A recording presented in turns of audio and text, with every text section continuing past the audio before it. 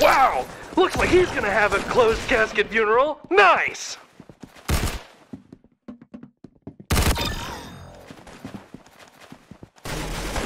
Wonder what the last thing to go through his head was. I hope he's wearing dog tags.